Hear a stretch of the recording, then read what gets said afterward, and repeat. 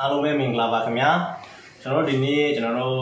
မောင်နှမနှစ်ယောက်ပြင်ချင်းတစ်ပုတ်စုပြမှာဖြစ်ပါတယ်ကျွန်တော်ကတော့ပြင်မဟုတ်ပါဘူးကျွန်တော်ကကြရမှာသူကတော့ပြင်ဘောနော်ဒါပေမဲ့ဒီပြင်ချင်းကိုကျွန်တော်ကကြိုက်လို့စုစုရဖြစ်ပါတယ်ဒါလို့ကျွန်တော်ဆိုတာတာမပီတာစာတာမပီတာရှိရင်တိခံပြီးနားထောင်ပေးပါလို့ဘောနော်အာကျွန်တော်တို့အခုဆိုတာက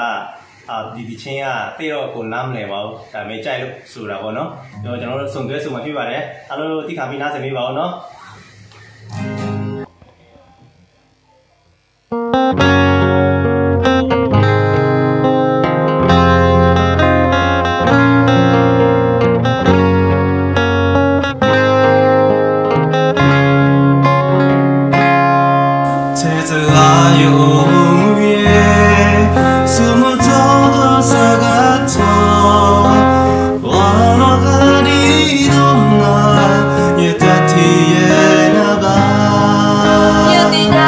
again.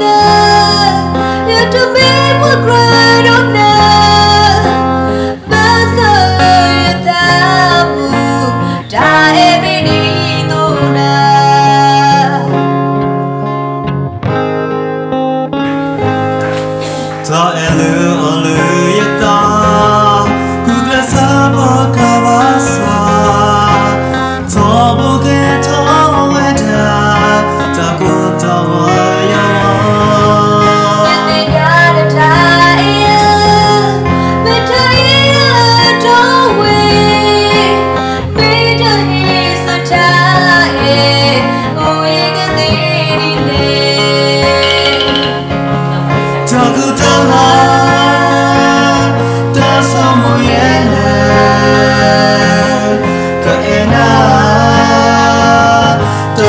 you go.